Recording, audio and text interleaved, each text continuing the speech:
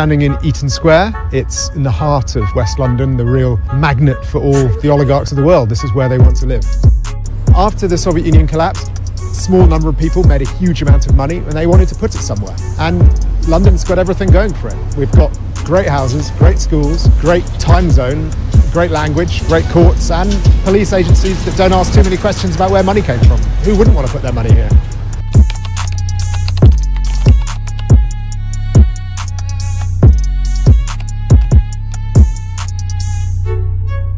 Money doesn't come directly here, it normally goes through a number of different countries, but once it gets here, it's anonymous. It's owned via a shell company somewhere, the individual's name is taken off it. And once it's here, it can be spent on anything. You can take it to an auction house, buy art, take it to an estate agent, buy a mansion, you know, take it to a school, pay school fees, take it to the government, buy a visa.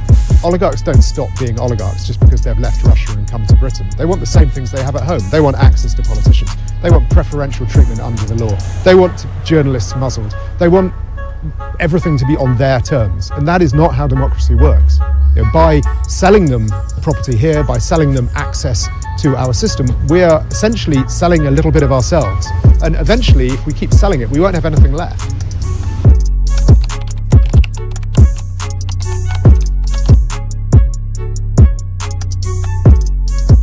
If you're rich, you're used to getting what you want when you pay for it.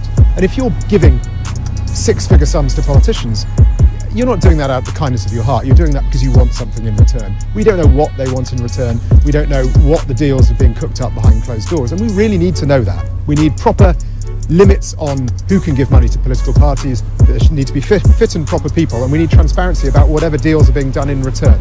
It, it's a disgrace we don't have that.